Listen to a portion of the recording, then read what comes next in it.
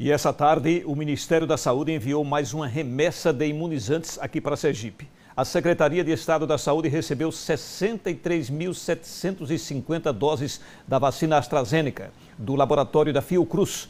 Na sexta-feira, os gestores dos municípios e o Comitê Técnico da Secretaria Estadual da Saúde vão se reunir para discutir a distribuição das vacinas e analisar quais os grupos que serão contemplados nesta etapa da campanha. Até agora, o Estado recebeu 985.960 doses de imunizantes. Na próxima sexta-feira, a previsão de chegada de mais 7.020 doses da vacina da Pfizer.